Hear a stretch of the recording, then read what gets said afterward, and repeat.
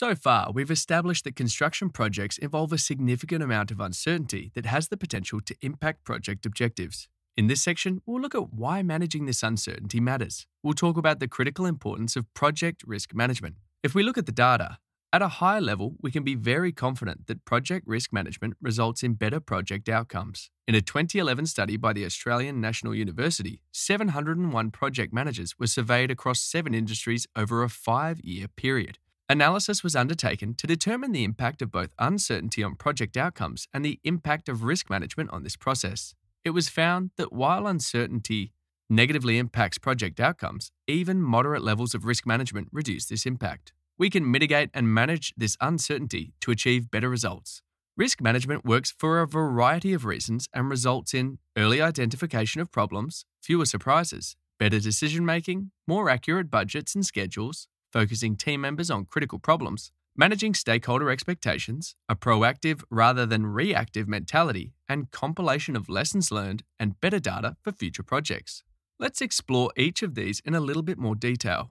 The risk management process forces us to look ahead by systematically identifying possible uncertain events or conditions that can impact project outcomes. We identify them when we are still able to fix them. Issues are identified before they become a problem. If we identify subcontractor resourcing as a risk prior to procurement, we can ensure that when selecting a subcontractor, we consider the required resources and ensure they have the resources to meet our schedule. By doing this, we are addressing the problem when we can still do something about it.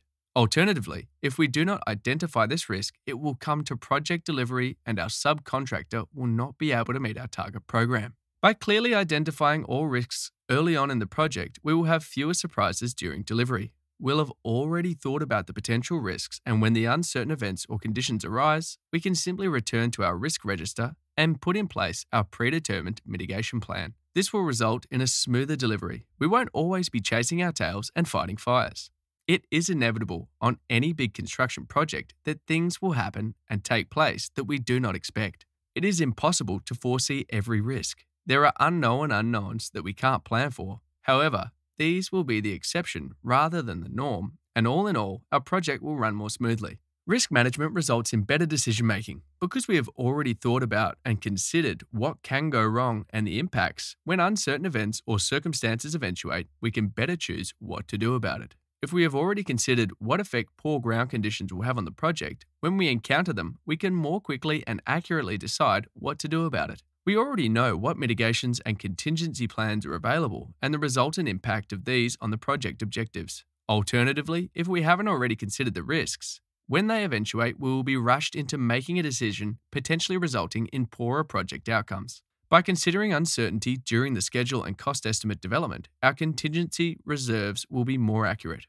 Rather than allowing 5% or 10% as contingency, we can put some real science and calculations behind these numbers.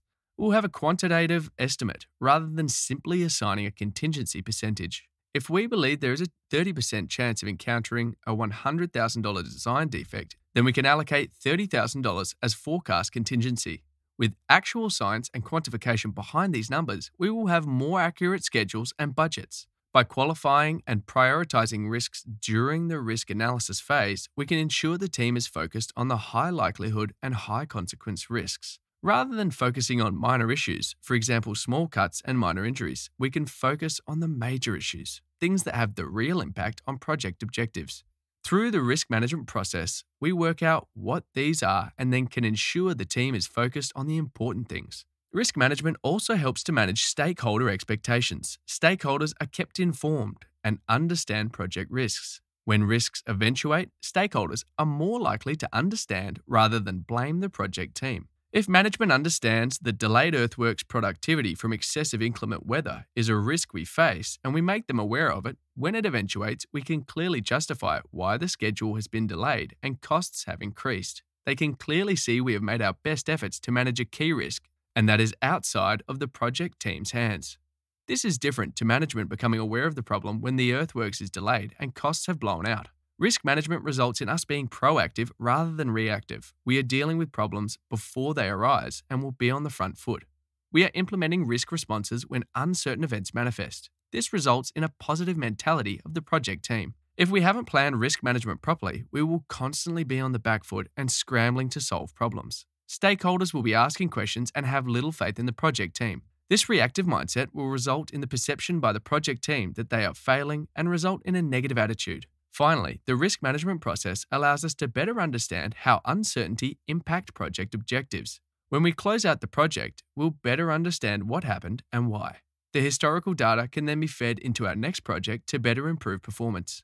We can understand how technical risks resulted in schedule delays.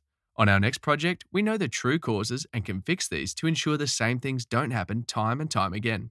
Proper risk management puts us on the front foot and increases the chances of achieving project success. We can avoid harming people or the environment and deliver the project scope in line with our budget and schedule. Next, we are going to move on to talking about the risk management process.